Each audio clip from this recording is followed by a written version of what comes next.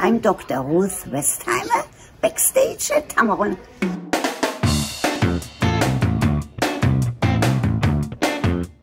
So, first of all, you have to be an askable parent.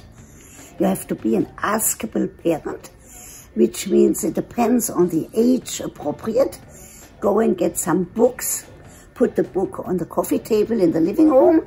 I bet you your child is going to read it, but it has to be age appropriate for little ones or for bigger ones.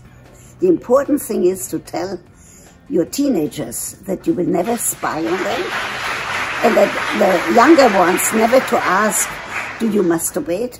But to make sure that you talk about these things, that they are natural mm -hmm. and that they don't have to be scared. Mm -hmm. Also to your girls, you have to talk about menstruation.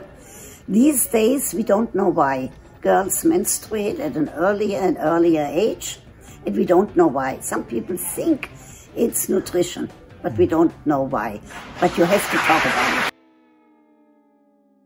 So first of all, important to ask the question. As of today, don't tell me that you're tired.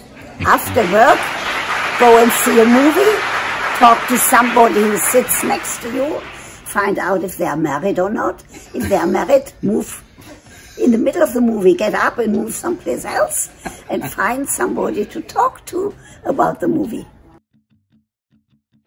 So what you have to do to keep the relationship is to be of interest, not just thinking about sex, but thinking about what can I do to make my partner a pleasure, like buying some theater tickets, going to a concert, doing something that maybe you don't do every single day. Mm -hmm. But that partner then will know that you really think of him or her and that you have their interest at heart.